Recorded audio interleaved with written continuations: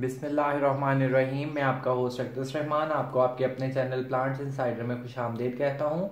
आज की वीडियो का टॉपिक है how to care areca palm ये बेस्ट प्योरीफायर इंडोर प्लांट है। नासा की रिसर्च के मुताबिक जो है, जो बेस्ट प्योरीफायर्स हैं, उनमें से एक ये भी प्लांट है। ये जितनी भी पाम की स्पीशीज़ हैं, उनमें सबसे ज़्यादा पॉपुलर यही पाम है एरिका पाम ये इजी टू ग्रो है, बाकी वैरायटीज़ की नस्बत ये ज़्यादा इजीली ग्रो हो सकता है, ये देखने में भी बहुत खूबसूरत लगता है।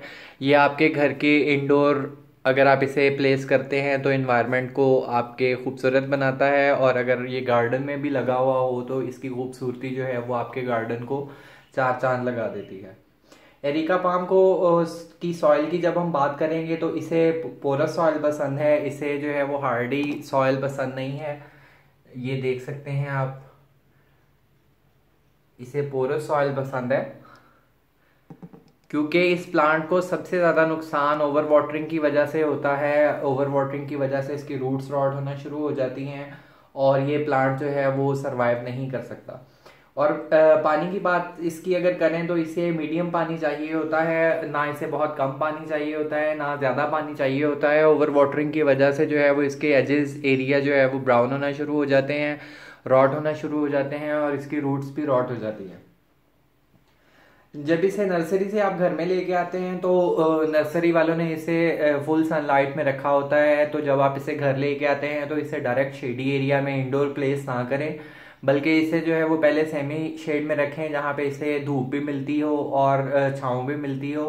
फिर उसके बाद आप इसे जो है वो ग्रेजुअली इंडोर मूव कर सकते हैं। इंडोर भी आप इसे ऐसी जगह पे प्लेस करेंगे जहाँ पे ब्राइट लाइट आती हो डायरेक्ट सनलाइट ना आती हो या बहुत ज़्यादा जो है वो अंधेरा ना हो। अगर इसके लीव्स येलो होना शुरू हो जाएँ तो या ब्राउन होना शुरू हो जाए तो इट मीन्स कि इसमें पोटाशियम की कमी हो रही है तो उसके लिए आप पोटाश का पाउडर लेके गमले में एक चम्मच डाल सकते हैं ट्वेंटी डेज़ में।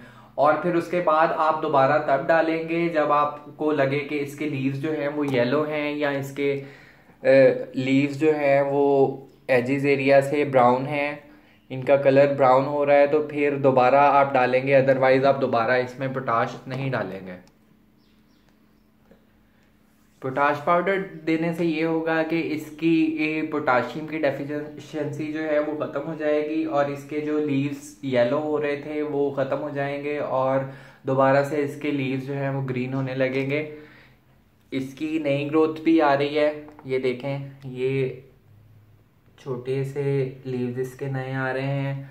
ये फुल ओपन हो गए हैं लीव्स इसके न्यू और एक चीज़ आपने ख्याल रखना है, ये गलती मैंने की थी, ये आपने नहीं करनी, कि इसके लीव्स जब एजेस एरिया से इस तरह से ब्राउन हो जाएँ तो आपने इनको कट नहीं करना, इस तरह से कट नहीं करना।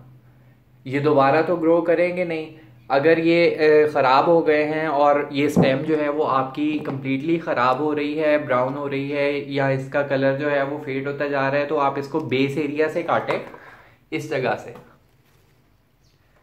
बेस एरिया से इसको कट करें, ना कि इसके लीव्स जो हैं वो इस तरह से इनको काटें। इससे जो है वो इस प्लांट को नुकसान होगा, इसकी हेल्थ में नुकसान होगा, ये अच्छे से ग्रो नहीं करेगा। एरिका पाम को आपने एप्सम सॉल्ट जो है वो बिल्कुल नहीं देना। एप्सम सॉल्ट जो है वो हम दूसरे प्लांट्स के लिए यूज़ करते हैं, लेकिन एरेका के लिए आपने एप्सम सॉल्ट बिल्कुल यूज़ नहीं करना। इस पे इंसेक्ट्स की अगर बात करें तो इंसेक्ट्स इस पे जो है वो स्पाइडर माइट्स अटैक कर सकती हैं, और जो है वो दूसरे इंसेक्ट्स जो पत्ते खाने वाले होते हैं, वो इस पे अटैक कर सकते हैं। उस केस में आपने क्या करना है? जब स्पाइडर माइट्स अटैक करें, आपको फील हो कि आपके पत्ते जो है वो खाए जा रहे हैं तो आप सिंपली जो है वो इसको सोपी वाटर से धो दें शॉवर कर दें अच्छी तरह से और इसके पत्तों को साफ़ कर दें। क्योंकि स्पाइडर माइट्स जो होती हैं, वो गंदे पत्तों पे अटैक करती हैं, साफ़ और क्लीन पत्तों पे वो अटैक नहीं करती, इसलिए जितना साफ़ आप इस प्लांट को रखेंगे, उतने ज़्यादा जो है वो चांसेस हैं कि स्पाइडर माइट्स इसके ऊपर अटैक नहीं करेंगी।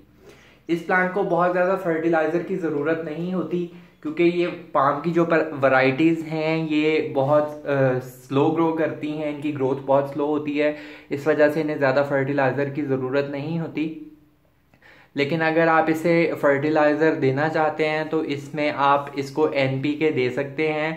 लेकिन वो भी जो है, वो आपने विंटर में देना है या फॉल सीज़न में दे स्प्रिंग सीज़न में देना है सॉरी फॉल में आपने इसे और विंटर समर में इसे आपने फर्टिलाइज़र बिल्कुल नहीं देना।